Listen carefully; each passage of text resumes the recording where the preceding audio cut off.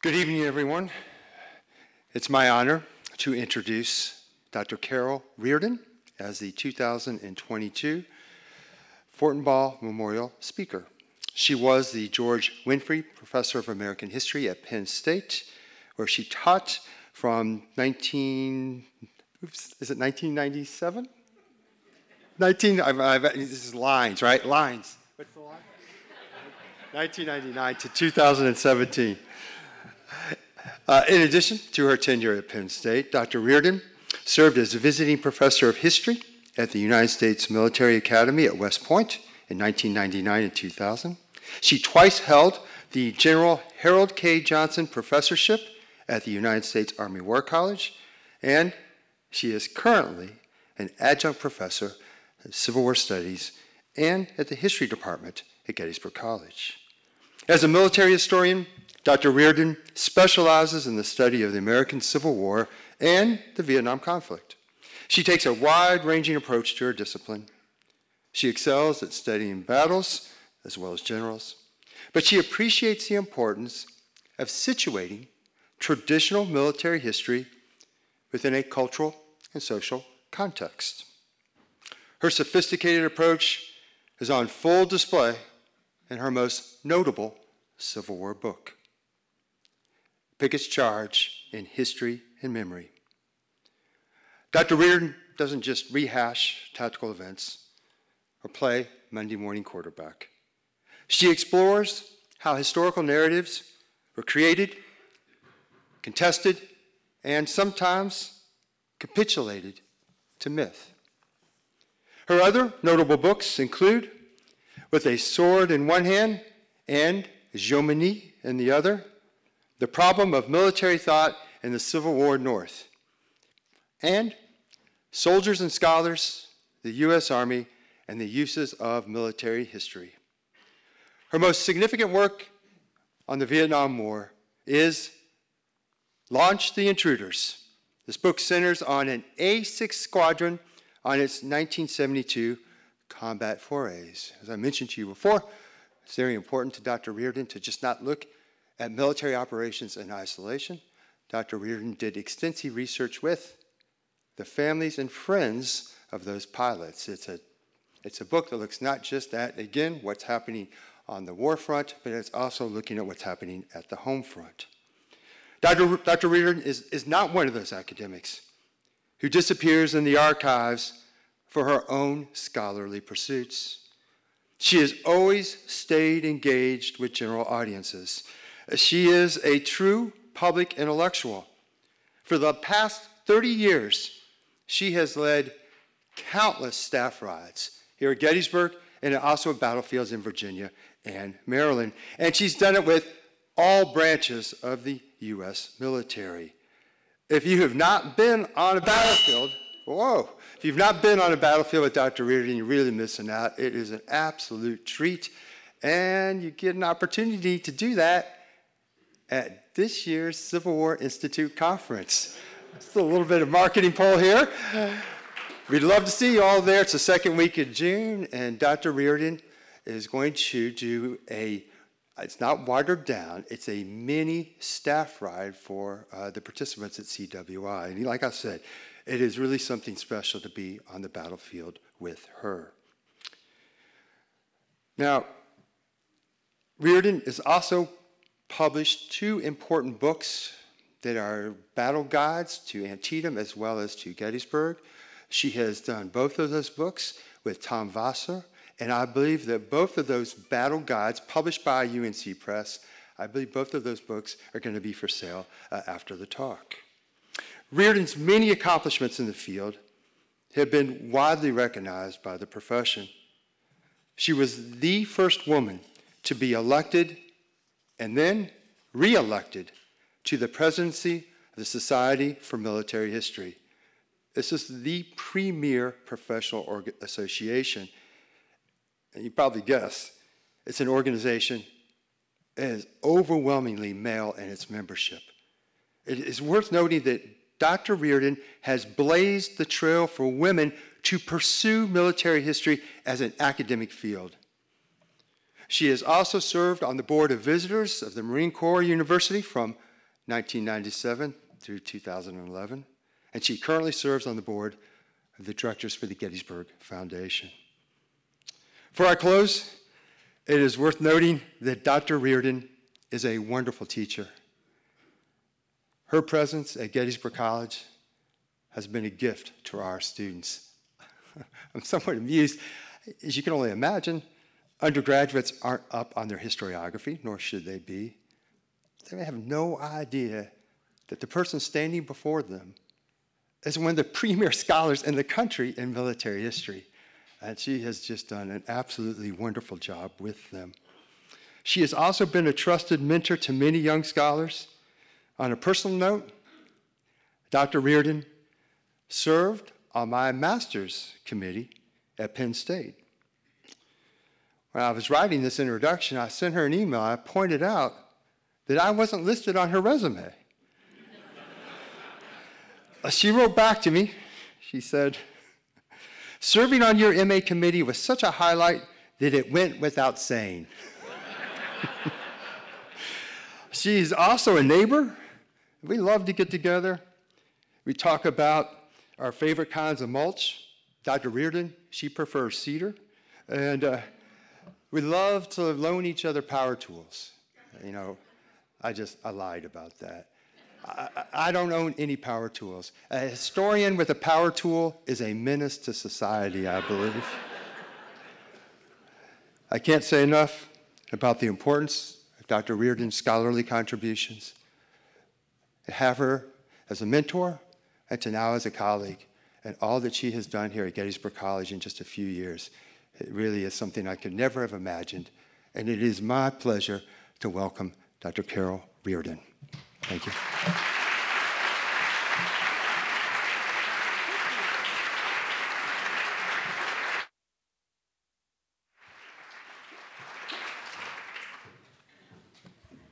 We will not revoke your, your degree, Peter. Everything's fine.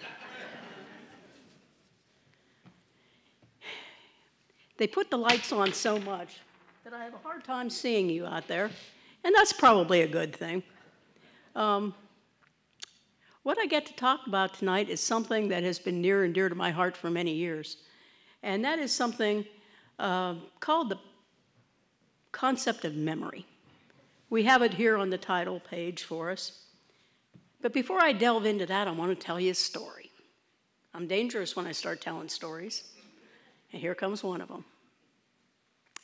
Imagine, if you will, that you are a Union veteran you served honorably and well during the, all four years of the Civil War. And when you returned home, safely, thankfully, you joined the Grand Army of the Republic, the Veterans Organization for Union Veterans. You became a member of your local chapter, your local post. You rose through the ranks of the leadership. And now, along about 1887, one of your favorite things to do is to get the weekly newsletter. It's called the National Tribune. And you go from the front page to the back, your special, your most favorite section is a section called Fighting Them Over. You're rather amused by that section because in Fighting Them Over, veterans will pick on a certain battle and they will say, My unit was the first or advanced the farthest or did the best work. And you just like to sit there smugly going, Wait a minute, I was there and no, you didn't. And it's an awful lot of fun to do that. But in April of 1887, there is a, an article that catches your eye because, well, you know, you thought you knew all the big battles of the Civil War, but you've never heard of this one Podunksburg.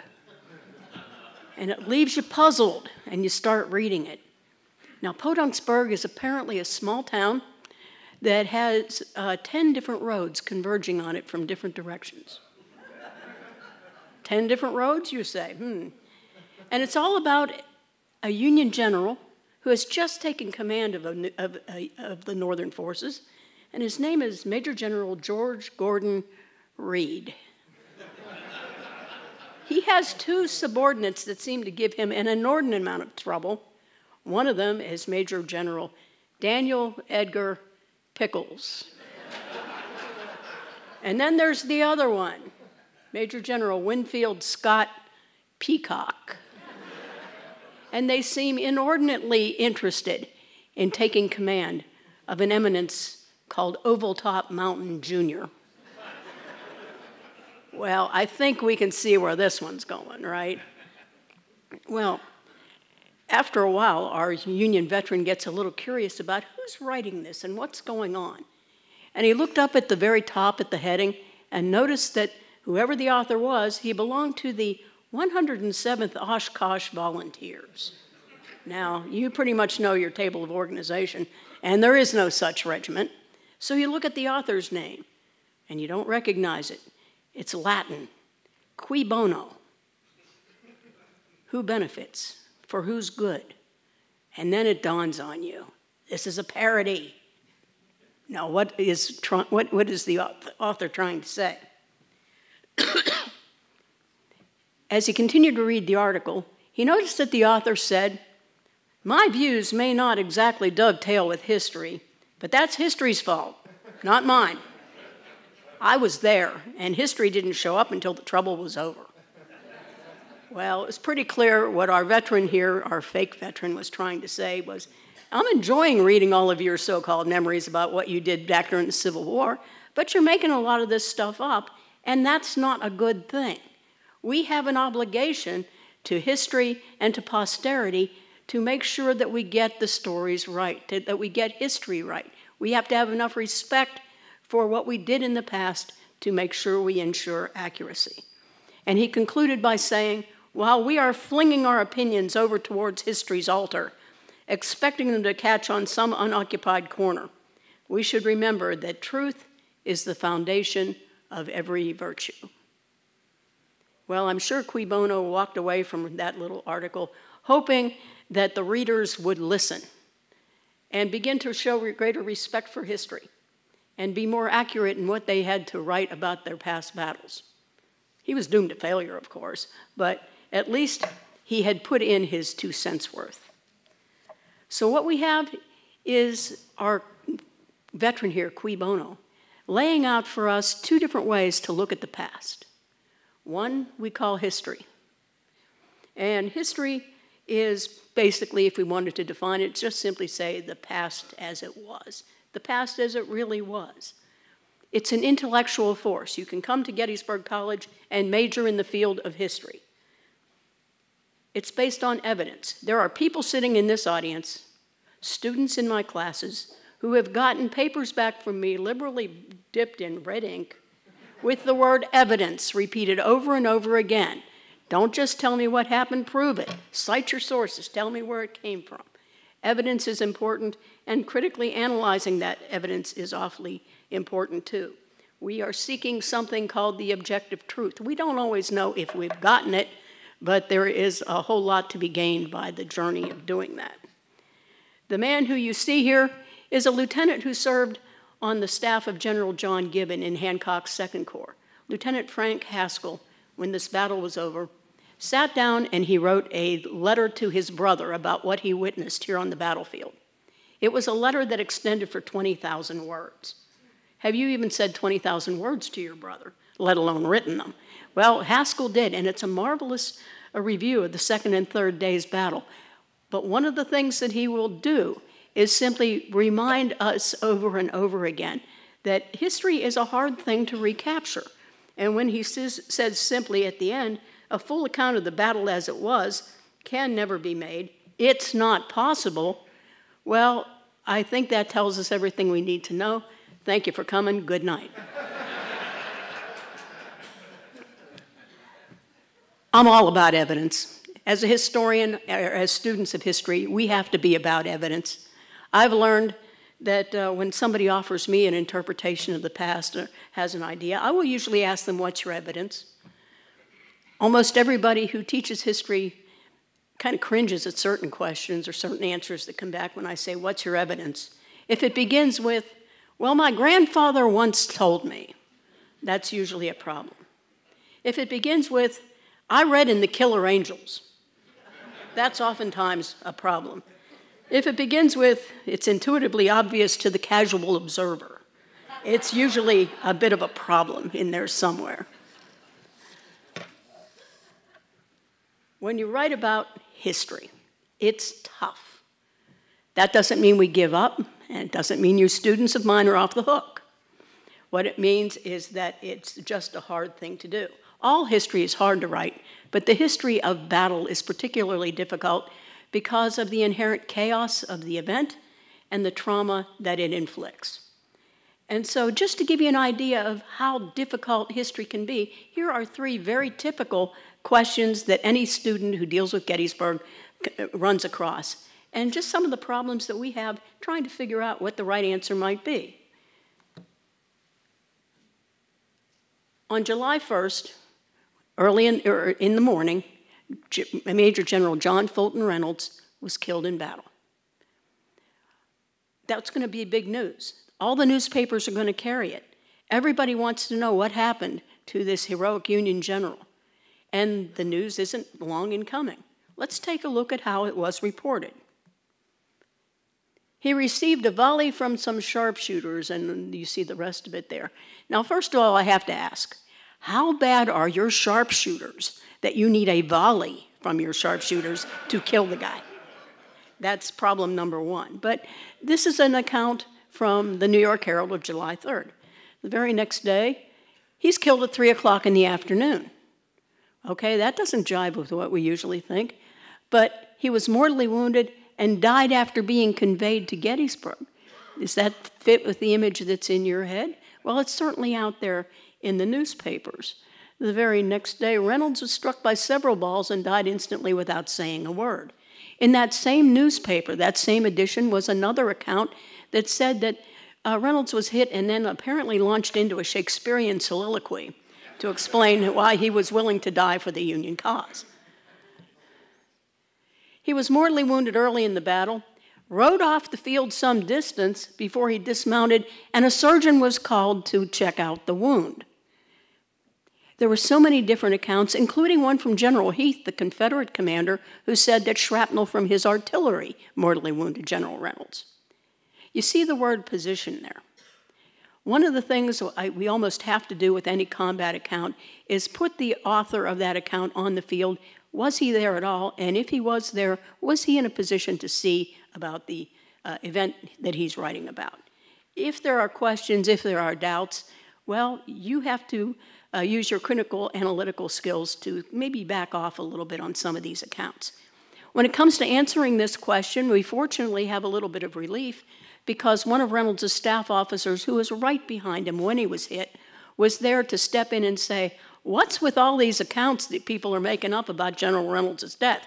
Here's what happened. And he explained it. And it was an officer who was credible and present on the field. And now we pretty much know that one bullet behind the right ear no talking, instant death, and there you go. But it's one of these things, perhaps you are a first time student and you're studying Gettysburg for the first time, and you go to the sources.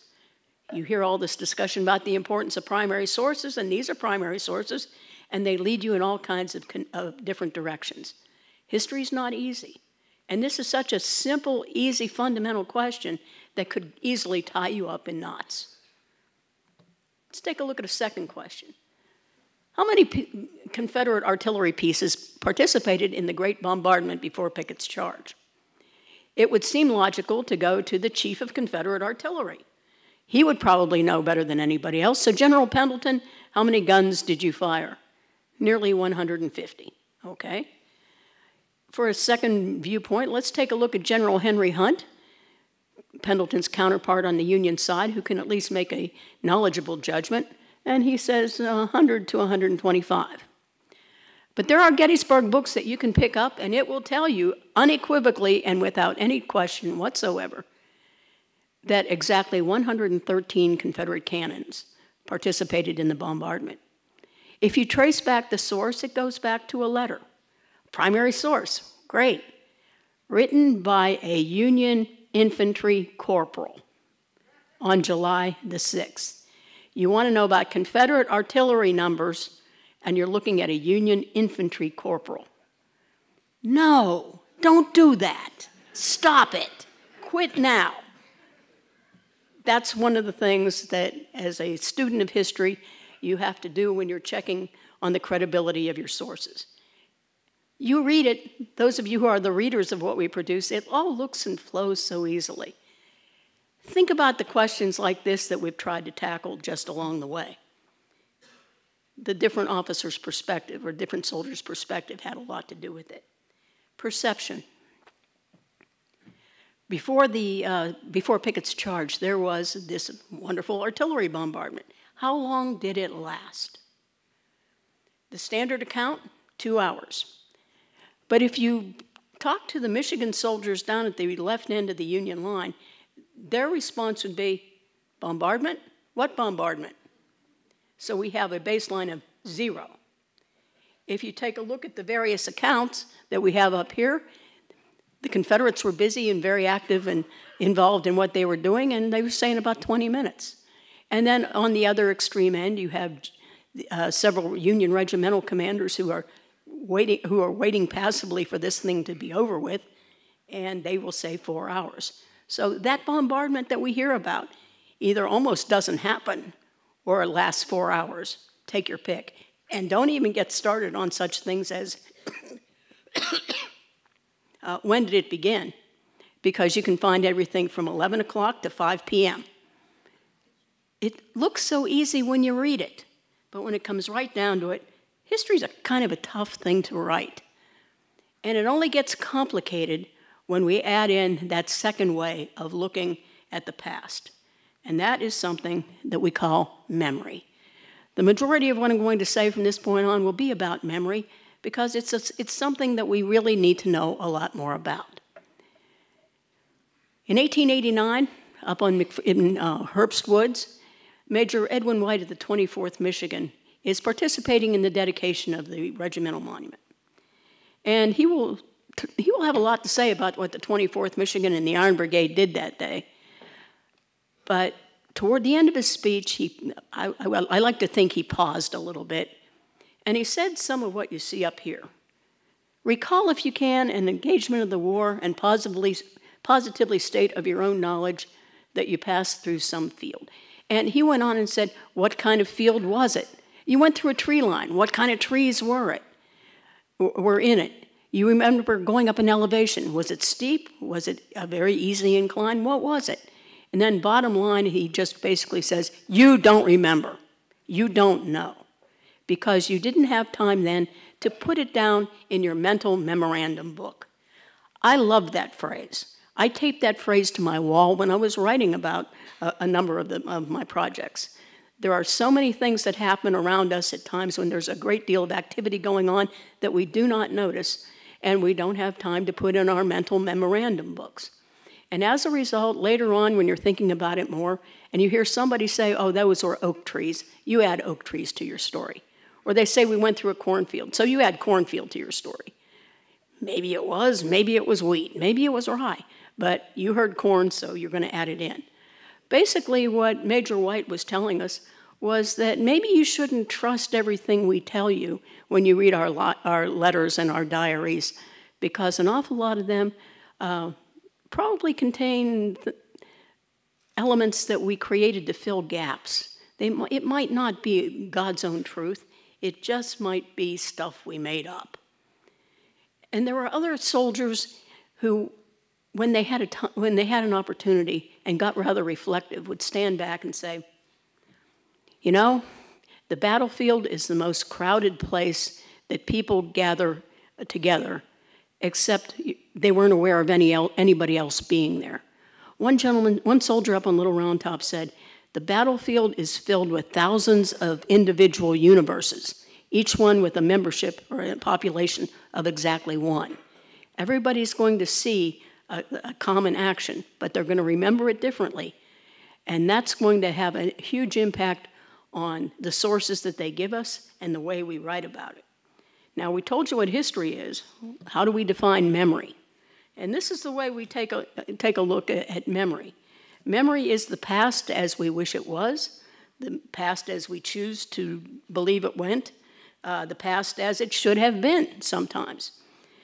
Instead of it being intellectually based, like history, it's emotionally based. It comes from the heart, it comes from the gut. It comes, it's not a part of, an intellectual process. It can be, rather than objective, it can be selective, it can be sanitized, sentimentalized, self promoting, self serving, a lot of S's to pick up the sibilants on the uh, microphone, um, all kinds of good things.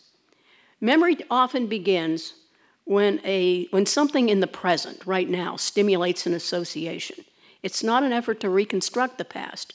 It's linking back to the past because something right now makes you think back on something that happened long ago and you try to forge a, a link even if perhaps there shouldn't be one. A lot of you have uh, quite have developed quite nice collections of Civil War books at home. And you've probably noticed that an awful lot of them have memory in the title. Uh, that's a fairly new idea. Whenever we have a new a concept in history, we like to explain a little bit of where it came from. So, a couple of minutes on its intellectual roots. The two books on the left, of course, he might recognize one of them. Um, this is the 25th year, the 25th anniversary of the Pickett's Charge in History and Memory's publication. It's almost exactly 25 years old right now.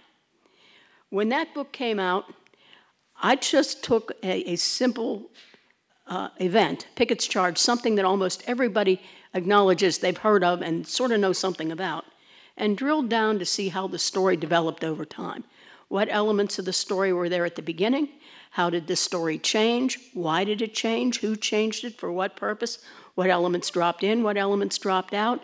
Uh, what does it mean today? Why does it develop the kind of, of resonance that it still has today?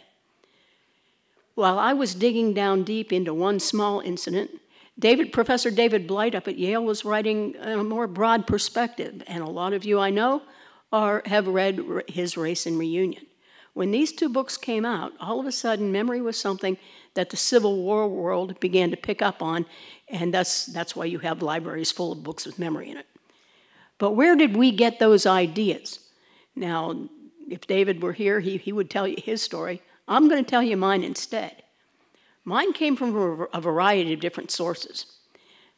I graduated from Allegheny College way back in the Stone Age, and when I did, I graduated with a degree in biology. There was nothing that said I was going to become a professor of military history. But because of my science background, I had never lost that edge, and I began to think in terms of how does memory work as a biological process, as a neuroscience issue? How, does it, how, you know, how would the scientists talk about this? And I got into the study of memory through the sciences. And from there, I discovered others were, were taking a look at the, the, the notion of memory as, as well from still more uh, different directions. Most of us who work in the field of memory would say that our intellectual godfather was a Frenchman by the name of Maurice Halbwachs. He was a, a, sociologist and a philosopher, not a historian at all. And he talked about what he called collective memory the stories, the values, the, uh, the heritage that different societies put together that changed over time to meet uh, changing needs. Uh, he was a uh, scholar in the 1920s and 1930s. He was uh, captured by the Nazis and actually died in Buchenwald in, in 1945. But his book on collective memory became a standard in fields other than history to talk about ways of dealing with the past. For the historians to discover that book, it was like being given a key to unlock uh, the way other societies and other eras looked at the past, and it helped to inform me. And once I had some basic knowledge about that, I started looking for signs of it in other books that appealed to me for one reason or another. When I took a look at a book by Michael Kammen called Mystic Chords of Memory, I was drawn to it because, of course, it comes out of a Lincoln speech. And it took a look at the uses of popular memory throughout um, the, the, whole course of, of American history and there were some useful things in there. But an awful lot of my insights were coming from the work of British military histories. The two books that you see up there, Richard Holmes's Acts of War and, Mike, and John Keegan's The Face of Battle, were awfully important about talking about the way memory, especially memory in battle, works. Holmes gave us an important phrase. He said, Most of us live our lives on the great gray level plane of existence. That sounds dreadfully boring, does it not? We live our lives on the great gray level plane of existence. And he said, mostly what we remember are those peaks and valleys, those prime experiences that extend above or below that great gray level plane of existence. He says, when you go into battle, you're not going to remember every step you took or, any, or just every action you took, you, you took when you were on the firing line. What you're, you're going to remember are the great successes or the great failures, the horrible things you saw, the, the first time you experienced something, the, those peaks and valleys. That's what you're going to remember. And it helps to shape how you read an awful lot of soldiers' letters and diaries. You're not reading what happened to me, but just those little bits and pieces that somehow stuck in memory, the peaks and the valleys, not the consistent, constant experience. John Keegan's book, The Face of Battle, does something, something similar, but engages all your senses in the process. One of the books that I, have always loved and I still use in my military history class today is E.B. Sledge's With the Old Breed. It's about the United States Marines in the Pacific. And it seems like an odd source for some ideas that might impact a book about Pickett's charge. But he was a combat Marine, and he talked about the impact of various experiences in, in Peleliu um, on, on the way he, he thought about the past. In his post military career, E.B. Sledge became a teacher of biology. So he had a way of bringing all these ideas together and talking about uh, memory as a, an individual uh, biological process, but then expanded it to its more uh, recognizable social forms and how we use it to uh, reconstruct past events. So that's where an awful lot of these ideas come from, a variety of different sources. And so what we run into are, uh, well, how do, how do we deal with, with, with memory whenever we're trying to write about the past? One of the things about memory, of course, is its selectivity. And sometimes that's um, the, the way we deal with the source material that we have, whether it be newspapers, accounts, think about the Reynolds thing, or the official reports. Every one of us in this room who does anything with the American Civil War ultimately ends up using the official records of the War of the Rebellion. And we use them like it's the Bible itself. And we, we hardly ever really challenge the validity uh, of the insights that come out of those reports.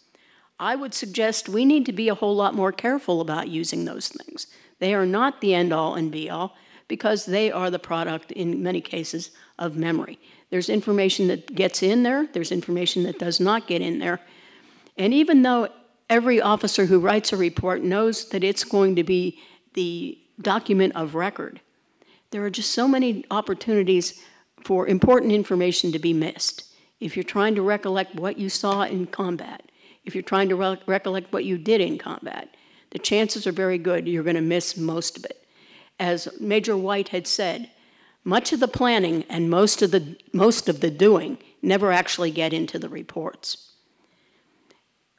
If the reports don't tell us a whole lot, then those of us who, who end up writing the histories are likely to miss a whole lot as well. And when it comes down to selectivity, the veterans themselves would get became extremely agitated at the first generation of historians who tried to write about Gettysburg. If you were a veteran of the 1st Corps or the 12th Corps, you especially had a bone to pick with almost every historian who wrote an early uh, book about Gettysburg. In the case of the 1st Corps, you had lost General Reynolds. He was dead. General Doubleday, his successor, got relieved of command, and General Newton, who took over, wasn't in command of the troops in battle.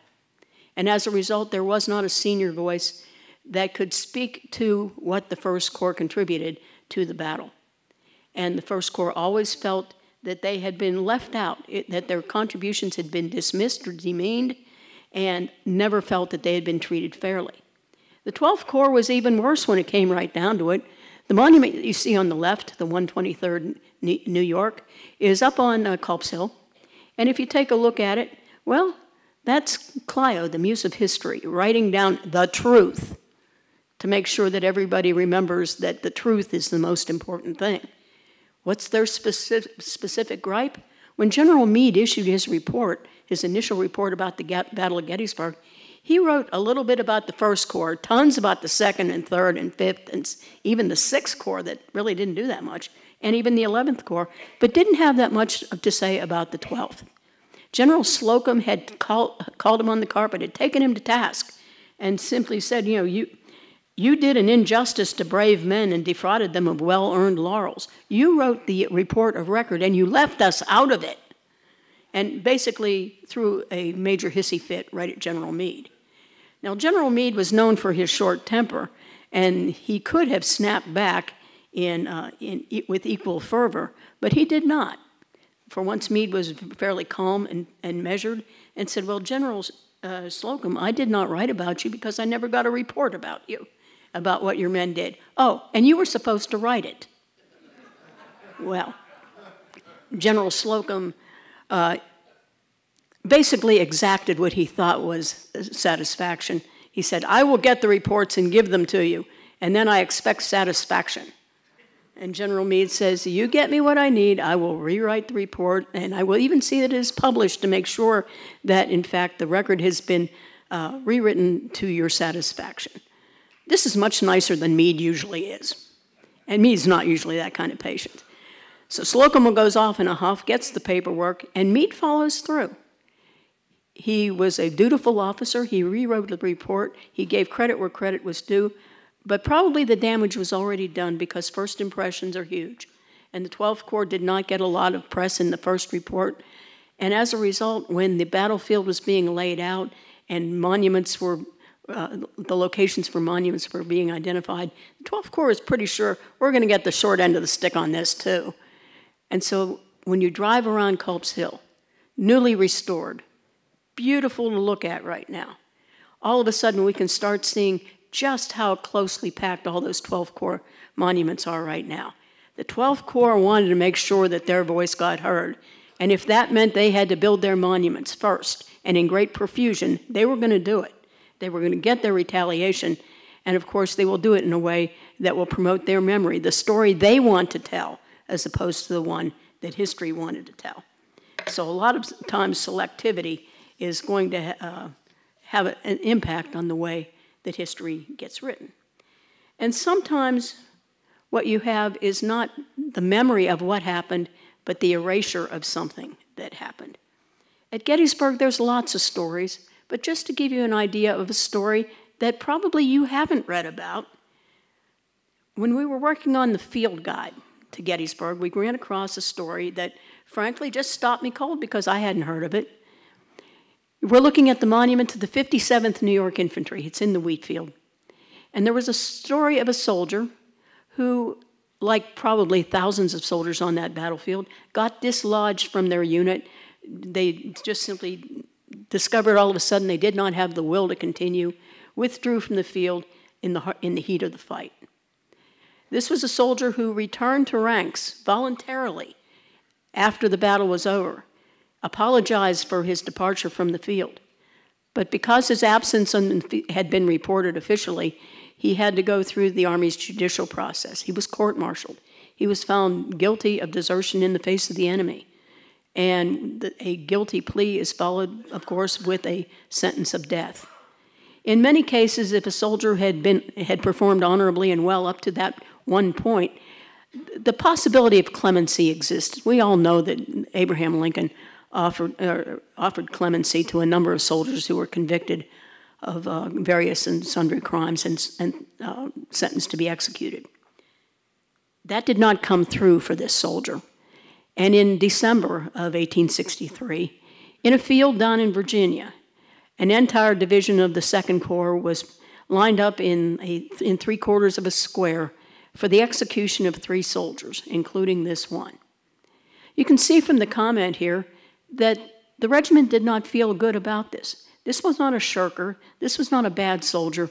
This was one man who had a very bad day on July 2nd and owned up to it and came back, and they all thought he should have been given a second chance, but that's not the way the military justice system worked. You will see that they decided that they would not dishonor him by putting his name out there and make it public. They wanted to account for something that happened in their regiment but they wanted to do it in a way that, okay, there's some things we don't need to tell you. And that was, a, that was an interesting judgment call on their point. What other stories did soldiers decide we didn't need to know about? I'm sure that there's a lot more of them. But when you run across one, and it's easy to go into the regimental roster and find the name of the soldier in this case. But they decided not to name him, so I'm not going to tell you either. So we'll let that little piece of history just fade away.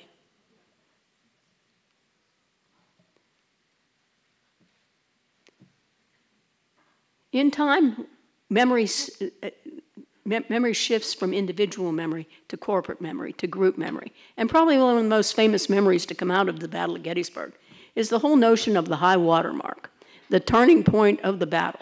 I hear it every day. It gets into the public media all the time, even now. Gettysburg was the turning point of the war. This was something that began right after the battle.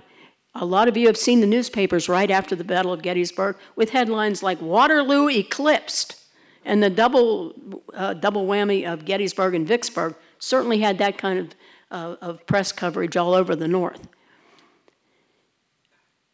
And there would be some even then who would say the fate of the Confederacy has been sealed. And Charles Carlton Coffin, whose quotation you see there, was a, a prominent Bostonian journalist. And he's going to use that phrase, a turning point in history. There will be others, William Swinton of, of New York, who will use uh, the phrase of the high water mark. And others will use similar phrases that we use all the time, probably not well, probably not accurately, probably with not as much nuance as we, sh we should, but it started early on. John Bachelder is somebody who probably a lot of you recognize over there on the, on the left-hand side of the screen, and he became the, uh, the superintendent of tablets and monuments on the battlefield. He was all about historical accuracy. There were Union veterans who took this guy's name in vain constantly because they didn't like his editing of what they wanted to put on their monument or where they wanted to locate their monument because he was always talking about the importance of accuracy. But in this one case, he did something different. He decided that he was going to buy in to the notion of Gettysburg as the high water mark. Partly he has built a hotel whose rooms he wants to fill, but in other, in every, every other way, he's going to promote this notion and he's going to be behind the, the building of the big bronze book at the angle today. It's interesting that the man who did so much to promote uh, the whole concept of historical accuracy here at the Battle of Gettysburg is also responsible for one of its most vivid memories. Probably the most entertaining part is when, when you found, kind of like our, like Cui Bono did, that everybody has an opinion about who really deserves the greatest credit for the greatest victories and the greatest achievements on the battlefield. There are many cases that all of us already know about, but here were some of the ones that kind of slipped through. Their fight wasn't successful. Their fight didn't become part of the memory of Gettysburg, particularly. Colonel William F. Perry, 44th Alabama, was one of few Confederates who actually came back multiple times after the war was over. And he came because he had a special quest. He'd commanded the 44th Alabama here at Gettysburg, and they fought down at Devil's Den. What he was upset about was all those blasted Texans who always claim credit for taking Devil's Den. It's always about Texas. It's always about Texas. He would come and he'd pick a fight with anybody who wants to fight and wants to say that Texas did this. One time he was confronted by a gentleman who said, I agree with you. It was not the Texans. Finally, somebody who agrees with me. Oh, no, sir, I don't agree with you. It was the 17th Georgia that deserves the credit for capturing Devil's Den. And another near fist fight ensues.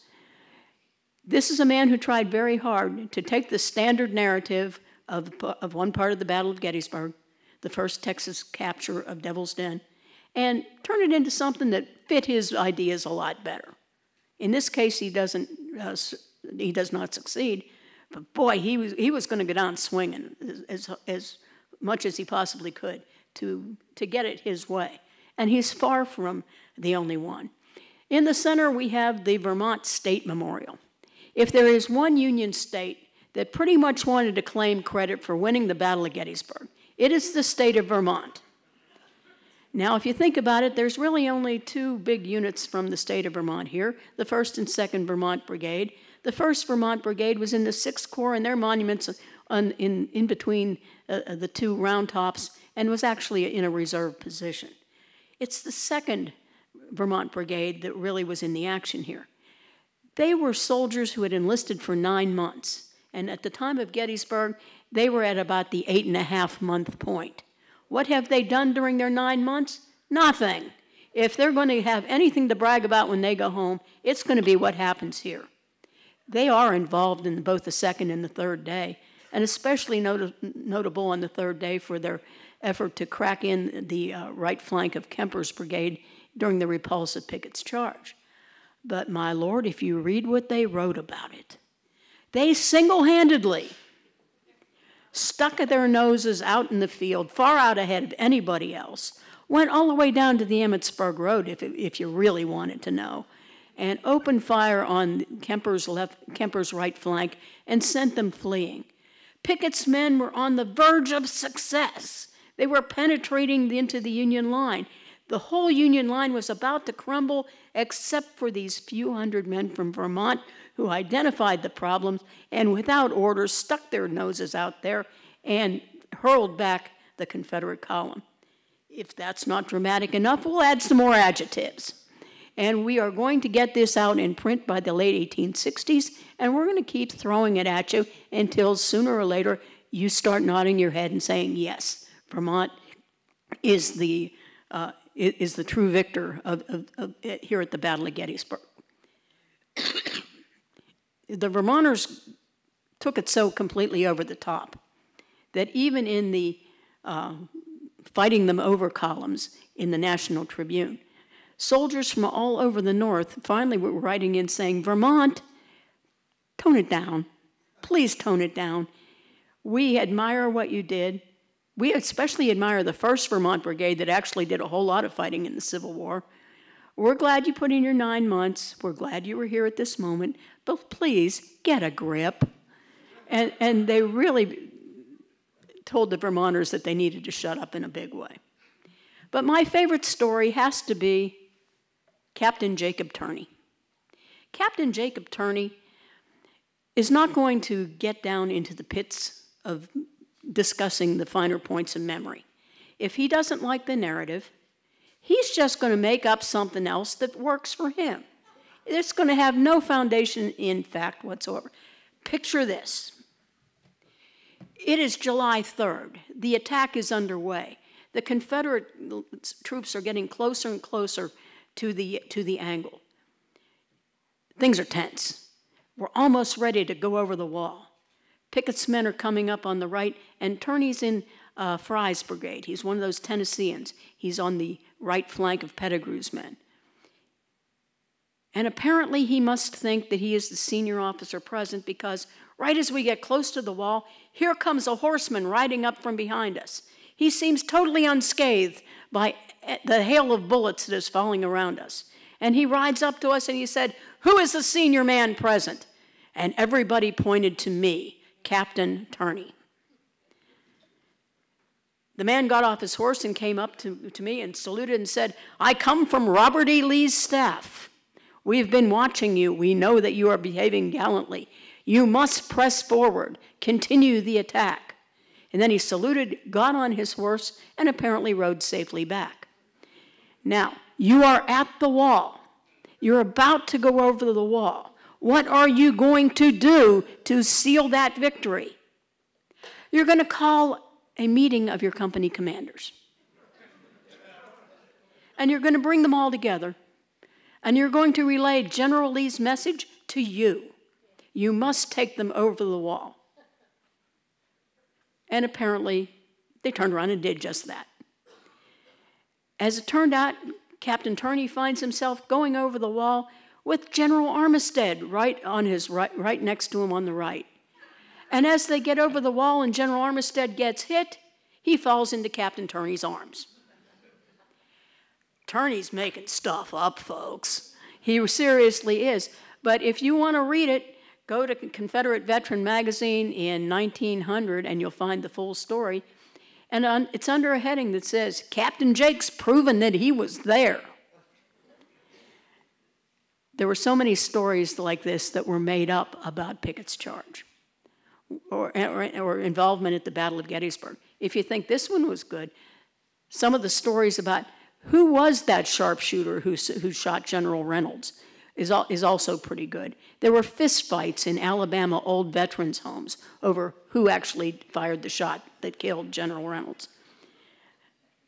The effort for, for to gather battle laurels is a, was a pretty intense thing, and none of it was founded on that foundation of history or the foundation of truth that's the, uh, the basis of all virtue. Now, as time went on, these, uh, these memories would coalesce in different ways and present us with four frameworks for memory. The first one, reconciliation, is the framework that's most often associated with Gettysburg. Face it, all of us have gone into the visitor center, especially the old visitor center, and seen the large cutouts of old veterans in blue and old veterans in gray reaching out across the stone wall and shaking hands. National reconciliation unquestionably going on here. The first big reunion here at Gettysburg between the blue and the gray happened in 1887 during the 24th anniversary of the battle. It took place between the survivors of the Philadelphia Brigade and the, the survivors of, of Pickett's division soldiers who had actually fought each other on July 3rd at Gettysburg. The, the reunion was going to be on July 3rd on the very ground where they fought.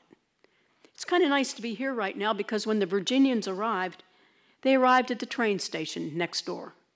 They marched up the road right outside this building here. And when they got to the town square, just right up here, uh, the Union veterans greeted them by saying, We welcome you because you were brave soldiers in war. We welcome you because you are true citizens in peace. They didn't want to talk about the causes of the war. They didn't want to talk about the conduct of the war. They wanted to talk about moving forward into the future jointly. And if Northerners could forget what the war was all about, well, Southerners could actually make an admission as well. You see what Colonel Aylett has to say here. Colonel Aylett had commanded one of Pickett's regiments in, in the charge, and when he can say, that above the ashes left by the war and over the tomb of secession and African slavery, we can move forward into, into a new future. That was really a remarkable statement for a Southerner to make. He would pay for his apostasy. He would almost be blacklisted in the, in the, in, uh, among Southern veterans, but it was a wonderful reunion, almost. If we take a look at this little monument that you see here, one of the things the Pickett's men wanted to accomplish when they were here on their visit was to build a monument to, to, to their comrades who fell in the charge. Fine, said the Northerners. Where do you want to build your monument? Inside the Union line. Um, no, you can't do that. We won the war, we won the battle, you can't build it there. So Pickett and his, Pickett's uh, survivors said, Great, we're not coming. In order to push the concept of reconciliation forward, the men in Philadelphia did a, a rather interesting thing.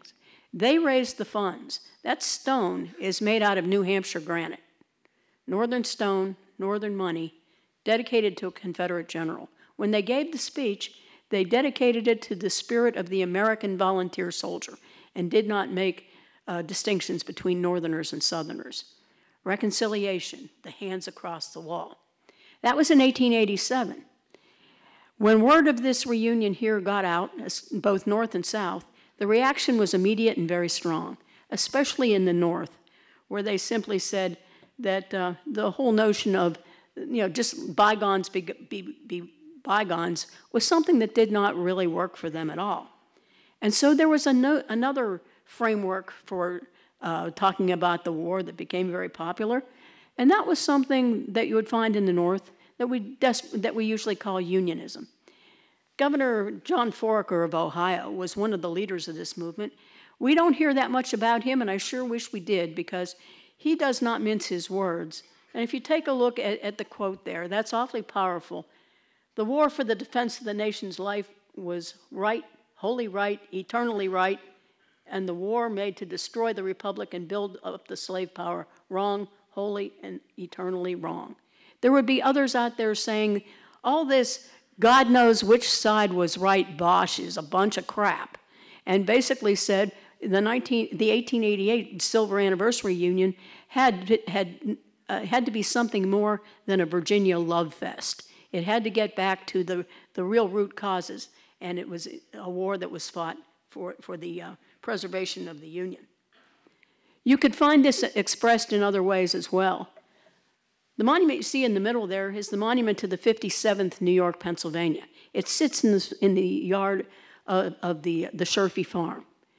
And if you take a look at the monument dedication speech that they gave there, they said pretty specifically, an awful lot of our soldiers who were captured here at the Sherfy farm were taken back south, and a lot of them died in the prisons in Richmond and even in Andersonville in 1864.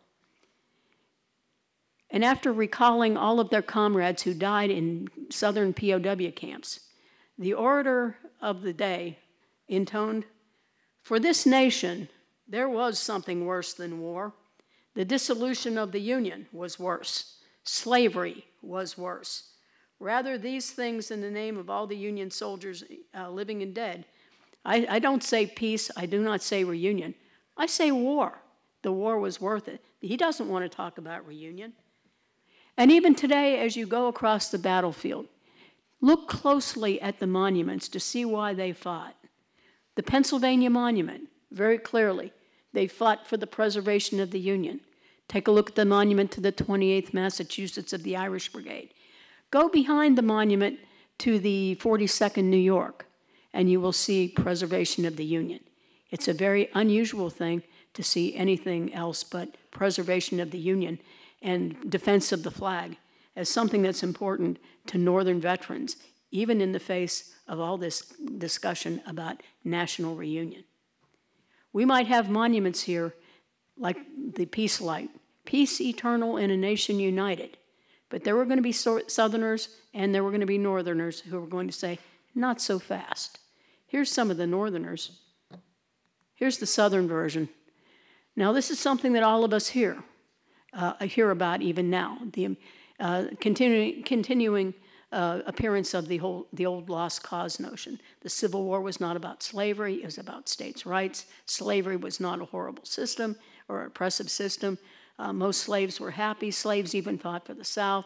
Uh, all that, that, those kinds of, of, of ideas that are still around today. But one of the things about this lost cause notion and, and all these different causes was that they were oftentimes subject to very specific contexts. I found this one particularly fascinating. What you're looking at here is a badge that the United Confederate Veterans issued to those who went to the 1917 National uh, Reunion. Back in 1915, two years before this, the leaders of the United Confederate Veterans had reached a really important decision. They were going to have their national reunion in Washington, D.C. For years, Southerners have been talking about taking Washington, and now in 1915, they're getting ready to do just that. They were enjoying this. We're taking Washington, folks. They were planning to be there in June of 1917. What happens in April of 1917? That's when we declare war, we get involved in World War I. That left the United Confederate Veterans in a bit of a conundrum we want to go to Washington, but do we think we should go and talk about uh, the Civil War and the Confederacy in the capital of the United States while we are a nation at war? They, I, I would like to have heard some of these discussions because most of them have not been preserved. But when they finally decided to come to Washington, the United Confederate Veterans issued this badge. If you take a close look at it, that's the shield of the Union up on top. That is the eagle of the, of the Union, that's the capital. You don't see a single Confederate flag involved in any of that, and you see the United Confederate Veterans Seal. It says, uh, the little writing that you can see on there says something we, we answered the call before. If our nation calls us again, we will, we will answer. It, it sounds almost like reunionism in 1917. That's fine right there. But some of these same individuals who went to Washington in early June 1917 made the short trip up to Gettysburg just a couple days later for the dedication of the Virginia Memorial. There it was a little bit different. Down in Washington, there would almost always be somebody from the War Department to say something about um, there was no, uh, we, we're not going to pay attention to the causes, we're not going to pay attention to the conduct, we're going to look forward to a future joined together. When you get to Gettysburg, you're still going to hear an introduction like that. But when it came time to dedicate that monument, it was a pure lost cause speech. And the quotation that you see there, it was not slavery, it was the slave trade that was branded as the sum of all villainies, was part of a Southerner's speech who said that the real evil force was not the slave power. It was not uh, slavery that was the problem. It was Northern merchants, the Northerners involved in the slave trade, who brought the slaves to us, who were the real evil force in American history. What started out as a Southern speech became an anti Northern speech in a very big way, trying to shape, reshape the narrative in a way that worked very well for Virginians and hardly for anybody north of the Mason Dixon line.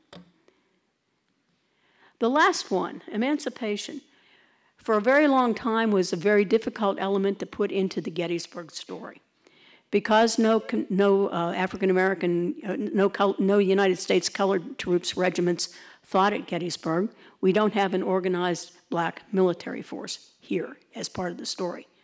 We have plenty of Teamsters, we have plenty, plenty of cooks, but most of the black men who served with the armies here were not the ones who were going to leave diaries or any other kind of traditional entry that we would use in, in our historical research. For a long time, the black story at Gettysburg was one that got written out. But recent changes have, have begun to make a difference here.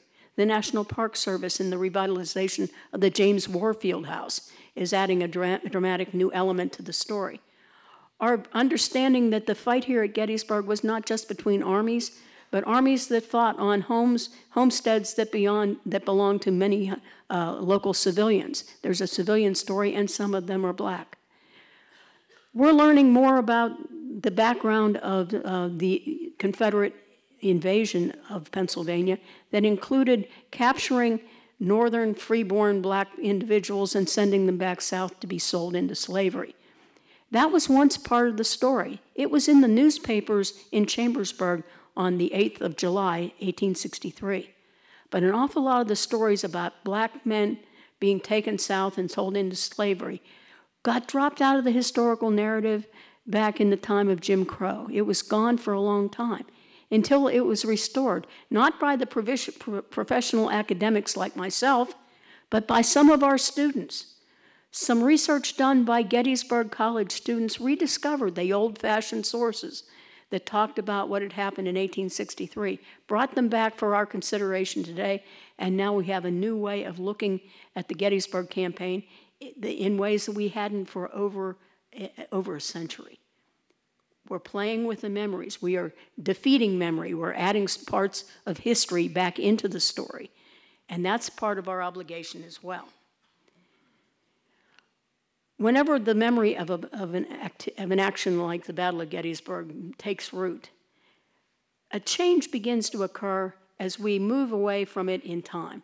As future generations go forth and think about things that happened before they were born, it's harder and harder to make a connection to them. And so ultimately, instead of talking about history and memory, we begin to talk about heritage and legacy and things that have a longer duration to them.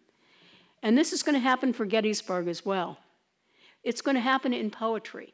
One of the best things I'm doing for you tonight is not reading poetry, because some of the poetry that is that pops up after the war is just so awfully bad that you know I like you folks. I'm not going to do that to you. So let's take it in another direction as well and take it to artwork.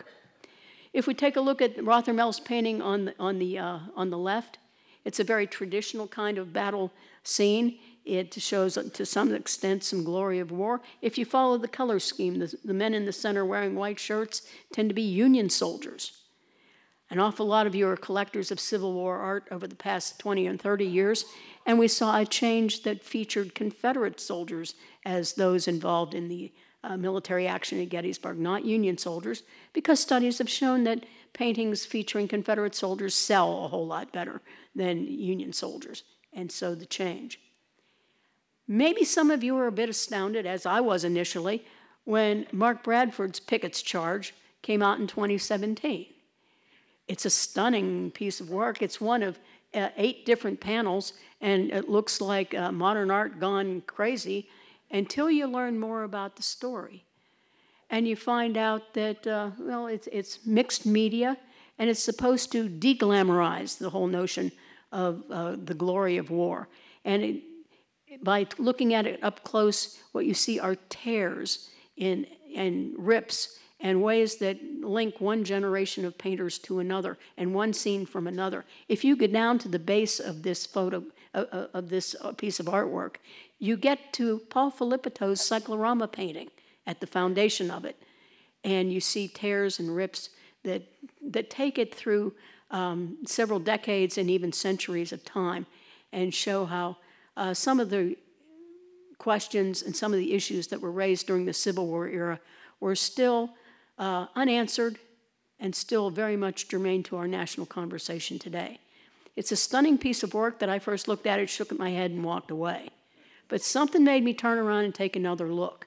If you had that as your first reaction as well, call it up on your, on your laptop and take a look at it again and look a little bit deeper and you're going to find out that there's a much bigger, much more intense story about, um, well, how to interpret um, the, our past through artwork, even using formats like this.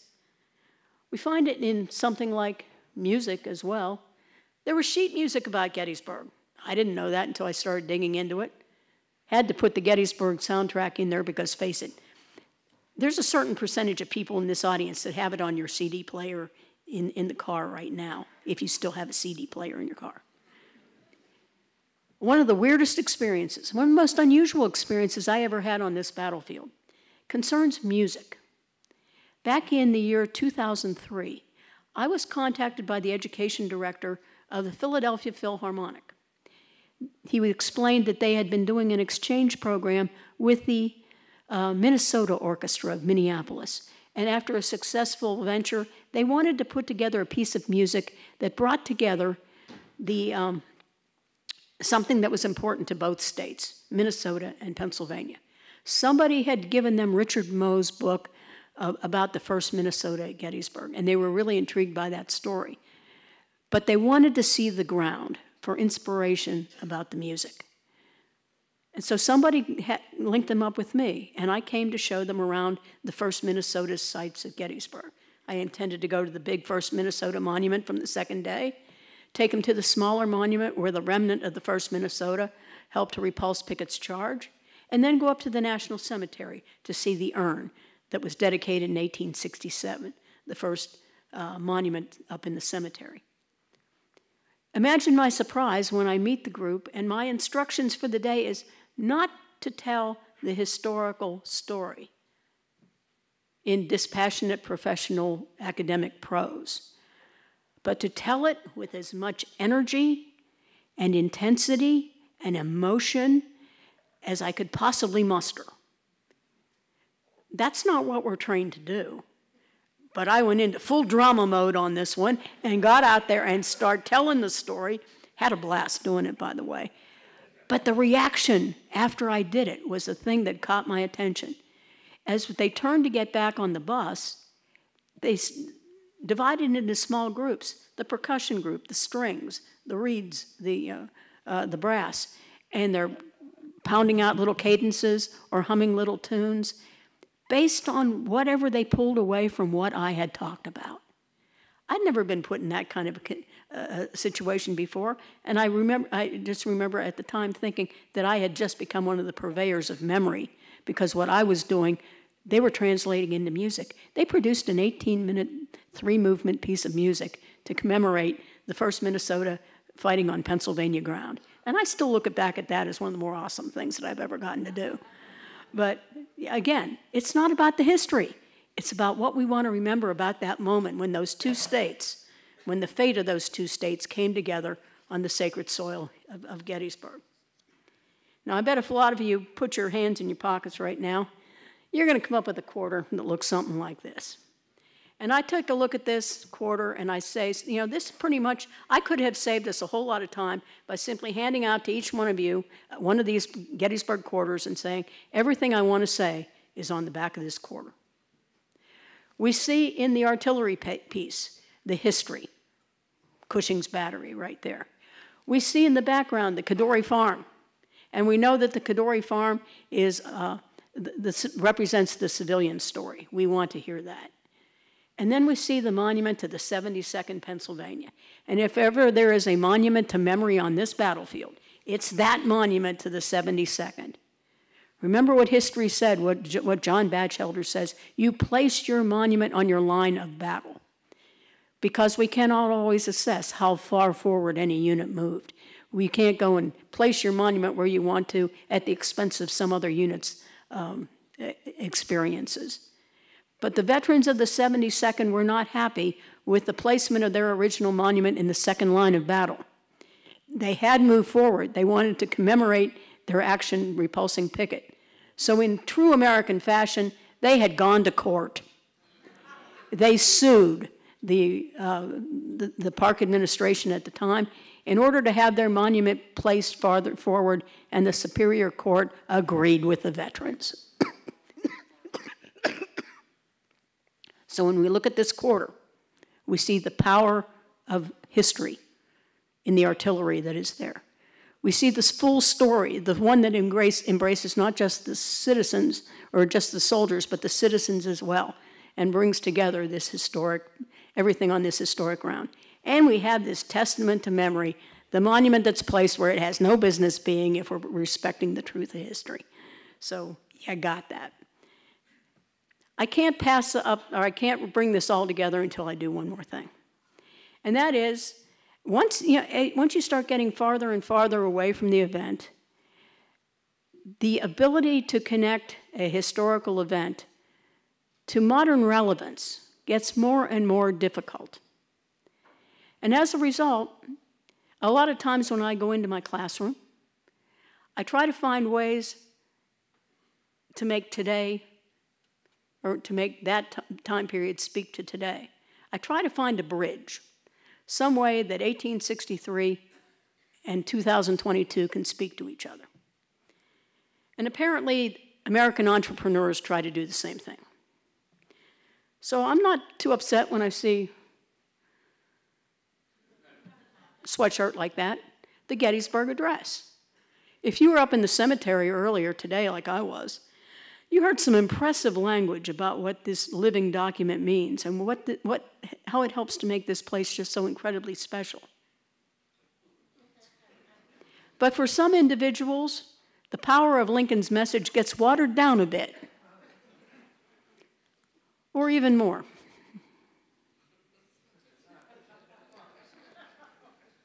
If you really want an adventure, Go out and take a look. I challenged my class to do this, and a few years ago they did.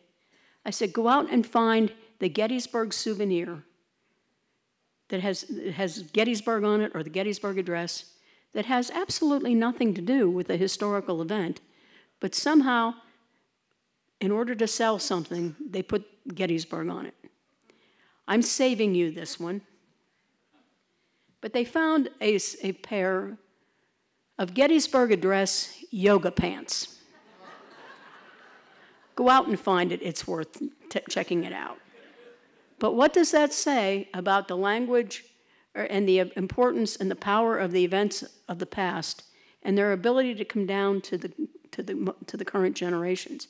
I worry about it sometimes, there, that there's some uh, historical shorthand, there's some historical literacy, there's some historical references that we sort of understand and appreciate have something to do with something happened, something important that happened in the past, but we don't have a clue what it really is.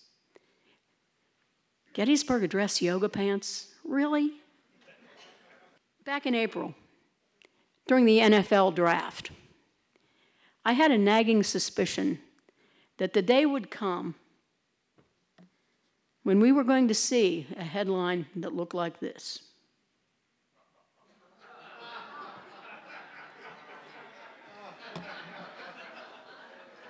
I just had a hunch that somehow, some way, somebody was going to expect that people were going to be able to respond to Pickett's charge and we'd be getting this.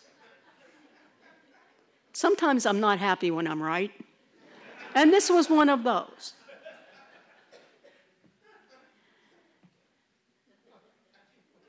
I do like that one, by the way. So, what that tells us, what, what, well, what does all this tell us? Well, it tells us that there are two forces out there. Those of you who write history, like I do, we have to be a little bit more on, on our game to make sure that we separate items, resources that we use that are the product of history and which are the product of memory. And where do they blend? And where do we draw the lines? For those of you who read those things that we write, read them carefully. Challenge us gently about what we write to see if, in fact, maybe, we, maybe you see something we don't see. I guess the last word should, be beyond, should belong to uh, Lieutenant Haskell again. Lieutenant Haskell wrote that wonderful letter, and he concluded it with this By and by, out of the chaos of trash and falsehoods that the newspapers hold, out of the disjointed mass of official reports, out of the traditions and tales that come down from the field, some eye that never saw the battle will select, and some pen will write what will be named the history. And then he added one more thing. With that, the world will be, and if we are alive, we must be, content. There's a part of me that shakes my head and say, in, in kind of depressed way says, "Yep, that's the way it is." Historians are bound to become horribly frustrated over time. A lot of us get cynical and skeptical, skeptical over time with our inability to reach truth that truly satisfies us. Do we have the complete story? Have we gotten it absolutely right? On the other hand, with that, the world will be, and if we are alive, we must be content. Do we have to be content that we've done the best that we can with history? No. And in this, the, the, the last word will belong to General Longstreet. Are we done writing the history of Gettysburg? Is there nothing less left for us to write about? Can we not get closer and closer to the truth? Are we done?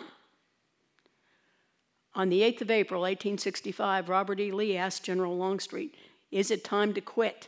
Is it time for us to surrender? Is it time to give up the field? And what did he say? Not yet. And with that, we'll go.